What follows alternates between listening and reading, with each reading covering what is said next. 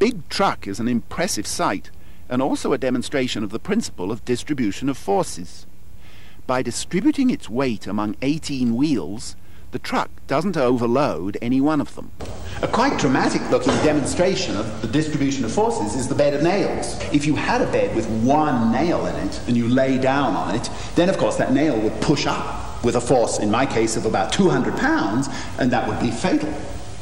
Two nails, and each would only have to push with a force of 100 pounds, painful still, but not as bad. 200, and of course, each would only have to push with a force of a pound, and that would be getting on for bearable. So if we have 2,000 here, we're doing something that you might be able to tolerate. Absolutely. Tenth of a pound each doesn't hurt at all.